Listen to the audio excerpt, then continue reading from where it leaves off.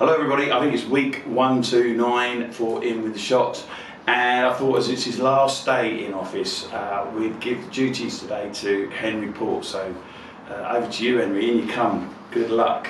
We've been this side of the camera, but hello everyone and welcome to this week's In With The Shot draw. Butts has kindly given me the chance to do it this week, given it's my last day.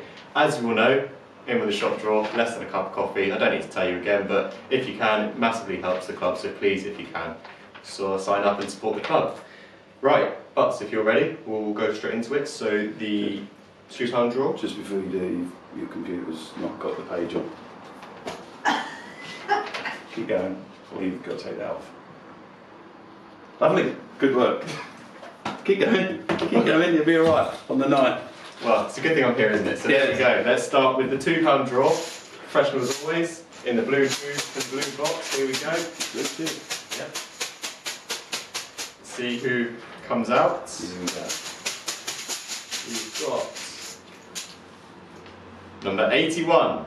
81. Number 81 is Ian White. Ian White. Ian, I've done your player sponsorship recently, so thank you very much for your support on this game as well, and also the player sponsorship. I'm sure Butts is massively appreciative as well, so thank you for that.